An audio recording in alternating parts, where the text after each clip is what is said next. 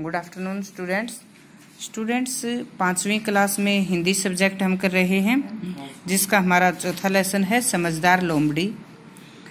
इस कहानी में हम देखते हैं कि एक बूढ़ा शेर, जो अपने बुढ़ापे के कारण और लकवे की बीमारी के कारण, जो शिकार करने में असमर्थ है।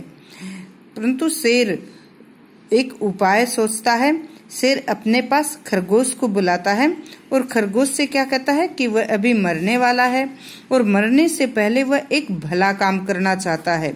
वह लोमड़ी को, लोमड़ी जो कि इस पहाड़ी के दूसरी तरफ़ रहती है तो शेर लोमड़ी को अपनी गुफा रहने के लिए देना चाहता है। तो ये कहकर शेर लुढ़क जाता है। खरगोश भोला होता है और खरगोश क्या सोचता है कि शेर मर गया है। खरगोश शेर का ये काम करना चाहता है, शेर की आखिरी इच्छा पूरी करना चाहता है और वह शेर का समाचार लेकर लोमड़ी के पास जाता है। तो बच्चों, जब खरगोश लोमड़ी के पास पहुँचता है तो लोमड़ी खरगोश को देखकर उसको खाने के लिए पकड़ती है। लोमड़ी भी एक मांसाहारी जीव है। लोमड़ी क्या है? मांसाहारी जीव, शेर भी मांसाहारी जीव होते हैं, मांस खाते हैं। खरगोश कैसा है? खरगोश शाकाहारी है हरी हरी घास, पत्तियाँ आदि खाकर अपना पेट भरता है। तो जब खरगोश लोमड़ी के पास पहुँचता है तो लोमड़ी उसे खाने के लिए पकड़ लेती है। परंतु जब खरगोश लोमड़ी से पूरी कहानी, पूरी बात बताता है तो लोमड़ी बहुत खुश होती है और वह खरगोश के साथ अपने बच्चों को लेकर चल पड़ती है। जब लोमड़ी और खरगोश शेर की गुफा के पास पहुँचते हैं तो देखते हैं कि शेर मरा पड़ा था। लोमड़ी खुशी से फूला नहीं समाई। जब उसने देखा कि शेर मरा पड़ा है तो लोमड़ी बहुत खुश होती है। खुशी से फूला न समाना, बहुत खुश होना। लोमड़ी खुश क्यों होती है? क्योंकि उसको रहने के लिए शेर की गुफा मिल रही थी। और उसे अपना भोजन भी मिल रहा था। उसे खाकर वह अपना और अपने बच्चों का पेट भर सकती थी। तो शेर को देखते ही लोमड़ी के मुँह में पानी आ गया।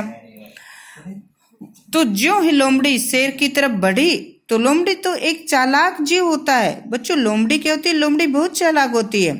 तो जैसे ही लोमड़ी शेर की तरफ़ बढ़ी तो लोमड़ी को कुछ अंदेशा हुआ, कुछ शक हुआ और लोमड़ी रुक गई।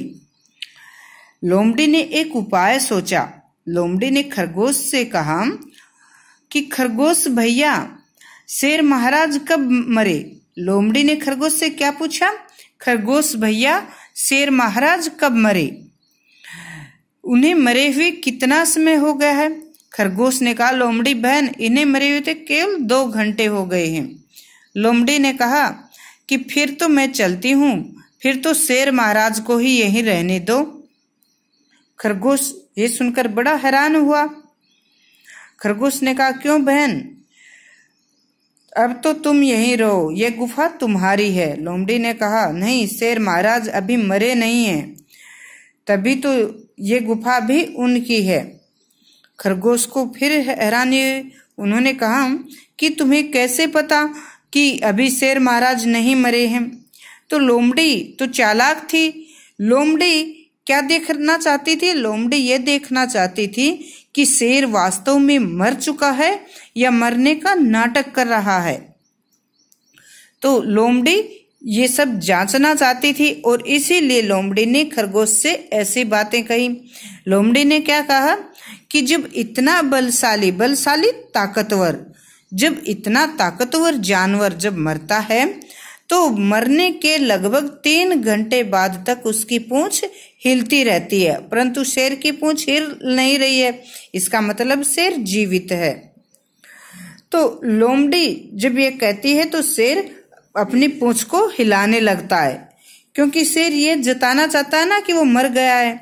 और लोमड़ी ने क्या कहा था कि मरने के तीन घंटे बाद तक पूंछ हिलती रहती है। तो शेर यह दिखाने के लिए कि वह मर चुका है। शेर अपनी पूंछ को हिलाने लगता है और इससे लोमड़ी को और खरगोश को क्या पता लग जाता है कि शेर जीवित है। तो बच्चों, जब जीव होता है तभी पूंछ हिलती है। मरने के बाद तो शरीर शिथिर हो जाता है। तो इसलिए लोमड़ी भी अपने बच्चों के साथ वहाँ से भाग जाती है और खरगोश भी वहाँ से भाग जाता है। तो बच्चों, इसी प्रकार लोमड़ी ने अपनी बुद्धि से काम लिया, चालाकी से काम लिया और उसने अपने साथ अपने बच्चों और खरगोश की भी जान बचा ली। शेर, जो कि बड़ी चालाकी से लोमड़ी को अब उसके बच्चों के साथ और खरगोश को भी जो अपने जाल में फांस, फंसाना चाहता था, उन्होंने अपने पास बुलाकर खाना चाहता था, परंतु लोमड़ी ने और चालाकी से काम लिया।